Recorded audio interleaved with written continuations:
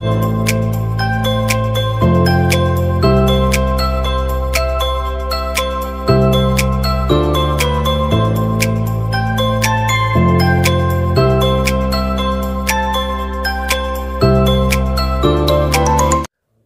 friends welcome back to C S C B and B S C must YouTube channel അപ്പോൾ നമ്മൾ ആദ്യത്തെ G K ക്വസ്റ്റിലേക്ക് കടക്കുകയാണ്.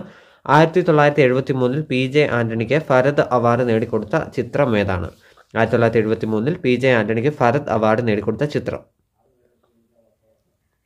Correct answer option C ആണ് നിർമാലയം. നിർമാലയത്തിലാണ് P J ആന്റണിക്ക് ആയിരത്തി തൊള്ളായിരത്തി എഴുപത്തി മൂന്നിൽ ഭരത് അവാർഡ് ലഭിച്ചത്. നെക്സ്റ്റ് ക്വസ്റ്റ്യൻ ഏറ്റവും കൂടുതൽ കാലം നായകനായി റെക്കോർഡിട്ട സിനിമാ നടൻ ഏതാണ്? ആരാണ്?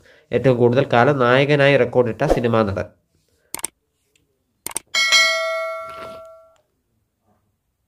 അതിന്റെ കറക്റ്റ് ആൻസർ ഓപ്ഷൻ ഡി ആണ് പ്രേം നസീർ. പ്രേം നസീർ ആണ് ഏറ്റവും കൂടുതൽ കാലം നായകനായി റെക്കോർഡിട്ട സിനിമ നടൻ. നെക്സ്റ്റ് ക്വസ്റ്റ്യൻ കേരള സംസ്ഥാന മനുഷ്യാവകാശ കമ്മീഷൻ രൂപീകൃതമായത് എന്നാണ്. കേരള സംസ്ഥാന മനുഷ്യാവകാശ കമ്മീഷൻ രൂപീകൃതമായത് എന്നാണ്. കറക്റ്റ് ആൻസർ ഓപ്ഷൻ സി ആണ്. ആയിരത്തി തൊള്ളായിരത്തി തൊണ്ണൂറ്റെട്ട് ഡിസംബർ പതിനൊന്ന്. ആയിരത്തി തൊള്ളായിരത്തി തൊണ്ണൂറ്റെട്ട് ഡിസംബർ പതിനൊന്നിനാണ് കേരള സംസ്ഥാന മനുഷ്യാവകാശ കമ്മീഷൻ രൂപീകൃതമായത്. നെക്സ്റ്റ് ക്വസ്റ്റ്യൻ കേരള ഫോക്ലോർ അക്കാദമിയുടെ ആസ്ഥാനം എവിടെ സ്ഥിതി ചെയ്യുന്നു? കേരള ഫോക്ലോർ അക്കാദമിയുടെ ആസ്ഥാനം എവിടെ സ്ഥിതി ചെയ്യുന്നു?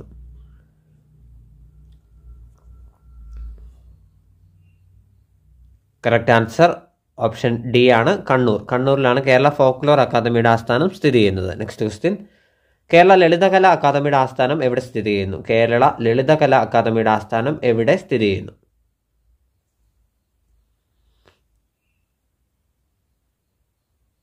കറക്റ്റ് ആൻസർ ഓപ്ഷൻ എ ആണ് തൃശ്ശൂർ. തൃശ്ശൂരിലാണ് കേരള ലളിതകലാ അക്കാദമിയുടെ ആസ്ഥാനം സ്ഥിതി ചെയ്യുന്നത്. നെക്സ്റ്റ് ക്വസ്റ്റ്യൻ കേരള സംസ്ഥാന മനുഷ്യാവകാശ കമ്മീഷന്റെ ആസ്ഥാനം എവിടെ സ്ഥിതി ചെയ്യുന്നു? കേരള സംസ്ഥാന മനുഷ്യാവകാശ കമ്മീഷന്റെ ആസ്ഥാനം സ്ഥിതി ചെയ്യുന്നത് എവിടെ?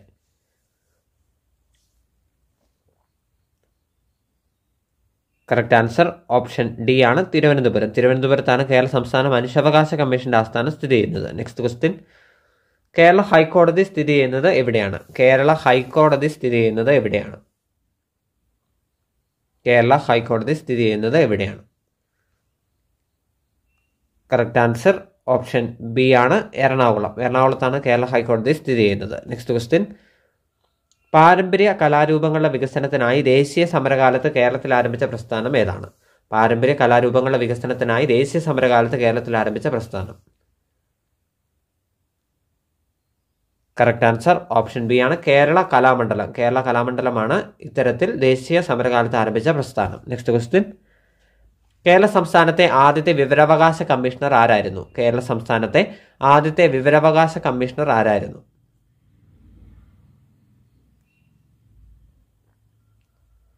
കറക്റ്റ് ആൻസർ ഓപ്ഷൻ എ ആണ് പാലാട്ട് മോഹൻദാസ്. പാല പാലാട്ട് മോഹൻദാസ് ആണ് കേരള സംസ്ഥാനത്തെ ആദ്യത്തെ വിവരാവകാശ commissioner. Next question Kalamandalam Gopi ഏത് കലയിലെ ആചാര്യനാണ്? കലാമണ്ഡലം ഗോപി ഏത് കലയിലെ ആചാര്യനാണ്?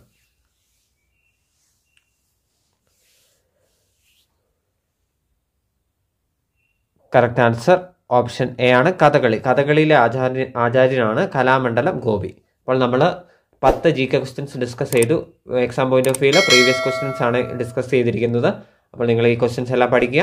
നിങ്ങൾക്ക് ഇഷ്ടപ്പെട്ട ലൈക്ക് ചെയ്യുക ഷെയർ ചെയ്യുക കമന്റ് ചെയ്യുക. കൂടുതൽ വീഡിയോസിന് വേണ്ടി ചാനൽ സബ്സ്ക്രൈബ് ചെയ്യുക. Thanks for watching thank